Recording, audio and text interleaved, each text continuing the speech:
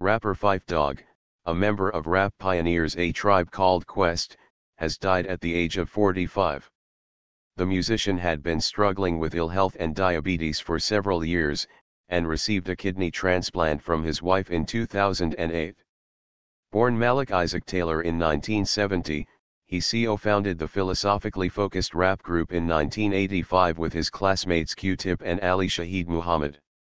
Their biggest hit came in 1991, with the single Can I Kick It? The band recently reformed to perform the song on Jimmy Fallon's US Chat Show, as they marked the 25th anniversary of their debut album People's Instinctive Travels and the Paths of Rhythm.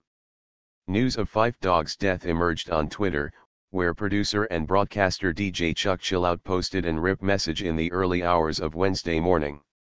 Rolling Stone magazine later confirmed his death, although an official statement has yet to be released. Rapper Chuck D was among those paying tribute to the star, calling him a true fire social narrator. BBC Six Music DJ Gilles Peterson said Phife and Q-Tip complemented sick each other like Lennon and McCartney, adding their albums changed my life. El-P from rap group Run the Jewels simply posted, Rest in Peace Phife alongside a video of fans chanting along to the rapper's verse in Buggin' Out.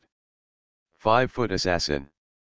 A native New Yorker, Phife appeared on all five of A Tribe Called Quest's albums, acting as a punchy foil to the more mellifluous Q-Tip on tracks like Check the Rhime and Scenario.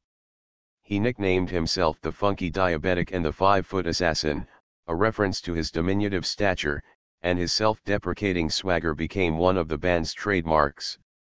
Along with acts like De La Soul and Queen Latifah, the band were part of an overall movement that challenged the macho posturing of rap in the 80s and 90s. Their lyrics addressed issues like date rape and the use of the N-word in the track Sucka Nigga, and avoided the hip-hop cliches of gunplay and expletives. Musically, they fused jazz with hip-hop, often rapping over a drum loop and an upright bass, while 1991's complex, atmospheric The Low End Theory has often been ranked among the best hip-hop albums of all time. Can I Kick It?